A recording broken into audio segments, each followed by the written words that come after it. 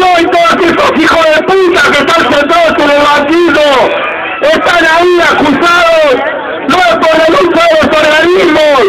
no es solo por la lucha de madres, hijos y abuelas, es por la lucha de Córdoba,